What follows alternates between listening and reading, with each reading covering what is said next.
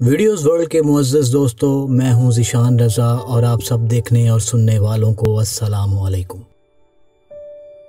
دنیا بھر میں خاص طور پر آپ حیران ہوں گے، اسرائیل کے اندر ہمالین سالٹ کے نام سے پاکستان کا نمک بک رہا ہے۔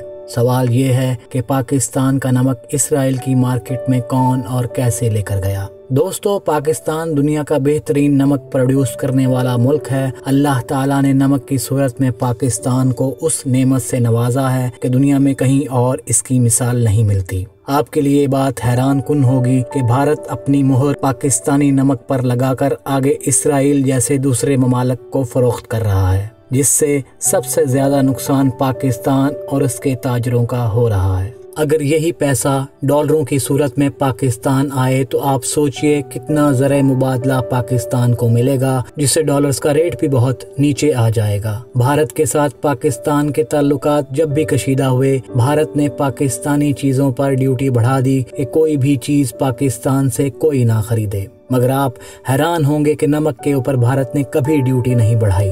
انیس سو سینتالیس میں ایک معاہدہ پاکستان اور بھارت کی حکومتوں کے درمیان ہوا تھا، جس میں کہا گیا تھا کہ امن ہو یا جنگ، پاکستان بھارت کا نمک کبھی بند نہیں کرے گا اور اسی طرح بھارت بھی پاکستان کا پانی کبھی بند نہیں کرے گا۔ مگر بھارت کی ڈٹائی ملاحظہ کریں کہ بھارت نے پاکستان کے پانی پر بے شمار ڈیم بنا کر پاکستان کا پانی روک دیا ہے۔ مگر پاکستان نے پھر بھی بھارت کو نمک کی ترسیل نہیں روکی۔ اب بھارت اسی نمک کو اپنی مہر لگا کر ساری دنیا کو بیچ رہا ہے۔ بھارت ہم سے سستے داموں یہ نمک خریدتا ہے اور پوری دنیا، امریکہ، یورپ اور دوسرے ممالک کو مہنگے داموں یہ نمک فروخت کر رہا ہے۔ جس سے اسے اربوں ڈالر سالانہ کی آمدن ہوتی ہے اور یہی سارا پیسہ جب بھارت آتا ہے تو اسی پیسے کو وہ پاکستان کے خلاف اسلحہ خرید کر استعمال کرتا ہے اور اسی پیسے سے اس کی کرنسی بھی مستحکم رہتی ہے۔ یہاں سوال یہ پیدا ہوتا ہے کہ ہم اپنا نمک ڈائریکٹلی کیوں ایکسپورٹ نہیں کر سکتے؟